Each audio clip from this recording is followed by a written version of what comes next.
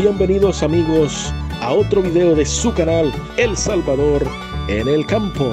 En esta ocasión eh, no es tanto para que ustedes vean animales que puedan comprar, de antemano se los digo, sino para que puedan observar un poquito las vacas pastando aquí en Potrero. Claro que si aún viendo este video ustedes dicen, pues me interesa, están chulas esas vacas, no son de una raza pura así en específica, ¿verdad?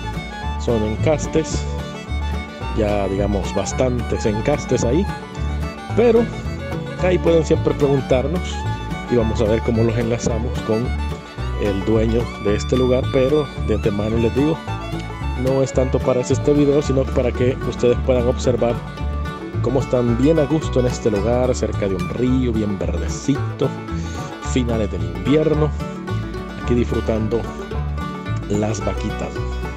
La verdad que dan ganas de estar allí, acostarse sobre la grama verde y estar en la compañía de estos hermosos animales. Por cierto, por si se lo preguntan, estamos en Pasaquina, en este lugar, es Pasaquina, allá fronterizo, ¿verdad? Con, con Honduras, este lugar.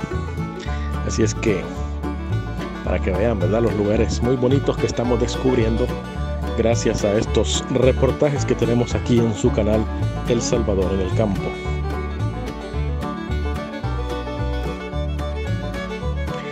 La verdad es un lugar muy placentero y bueno, aprovechando aquí el momento, ya que no es un video para, para como decimos, promover venta de algún ganado, aunque igual no es prohibido que ustedes pregunten, queremos ahí saludar a los que nos han comentado.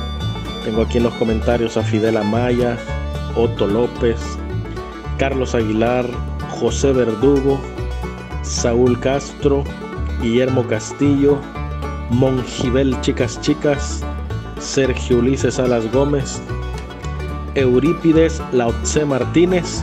A todos ustedes que nos ven, gracias, gracias por estar siempre en sintonía de nuestro canal El Salvador en el Campo.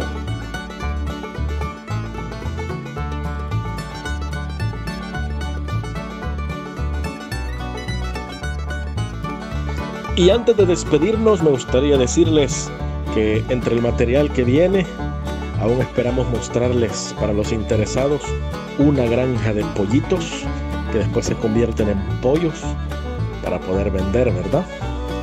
También vamos a tenerles la actualidad de la milpa que le hemos estado mostrando ya de un mes, de dos meses y cómo va en la actualidad.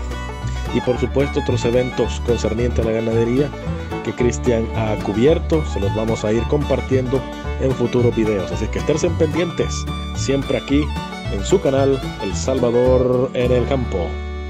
Hasta la próxima.